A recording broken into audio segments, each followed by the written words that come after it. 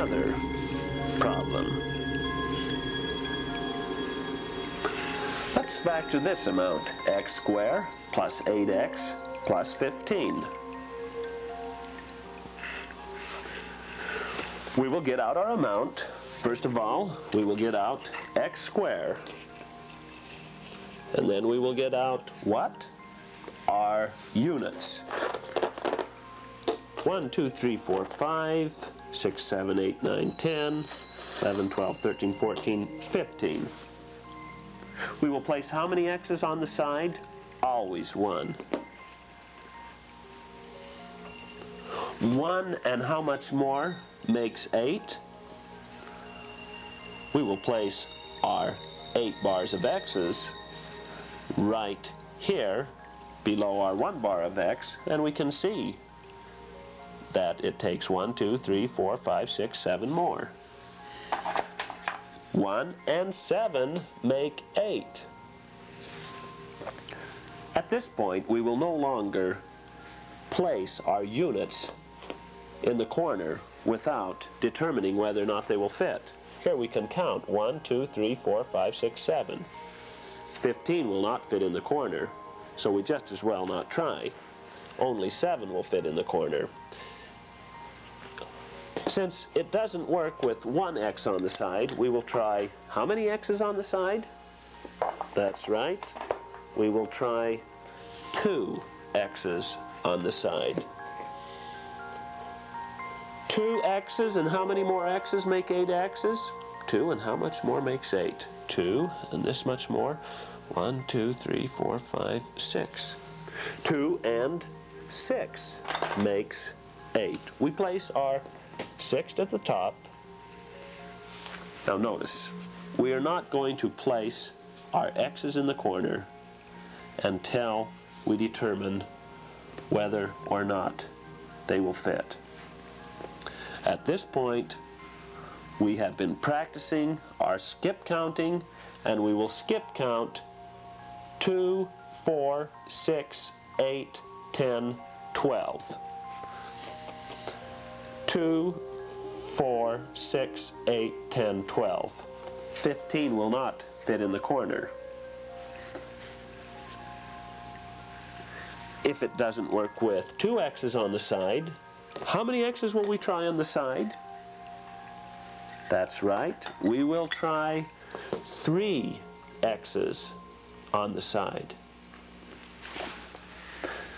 Three and how much more makes eight?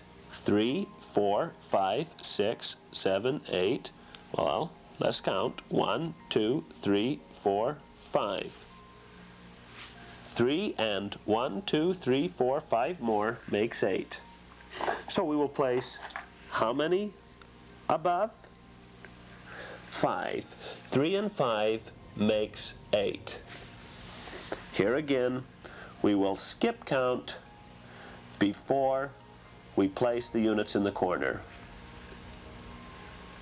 3, 6, 9, 12, 15. Yes, it works with 3 on the side. We can now place our units in the corner. 3,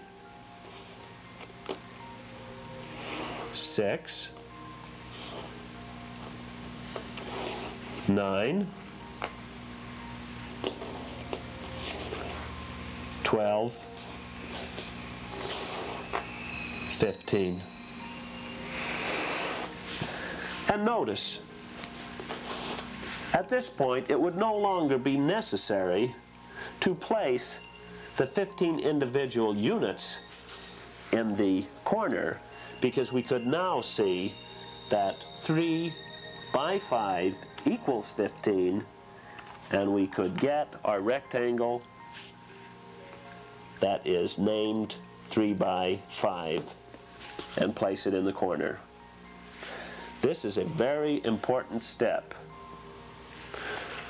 Once we have discovered that we can use our whole rectangle, we will no longer use the individual units. Once we have started to use the solid rectangles, it's very important that we spend a lot of time using these in games and other exercises.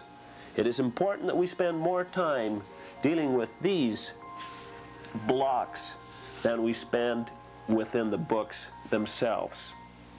Our objective, of course, is to learn how to skip count effectively.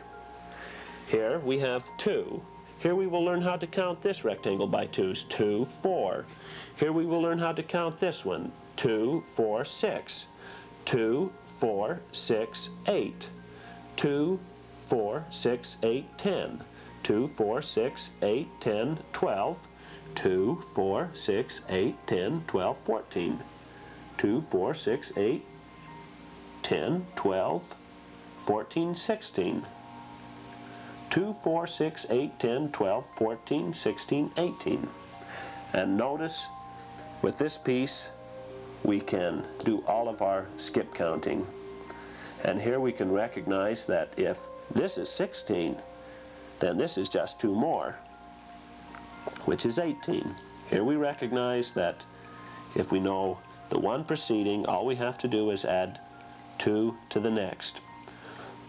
There are lots of games and exercises that the kids love to play and the thing that is exciting about the program is the children aren't even aware that they're memorizing their multiplication facts.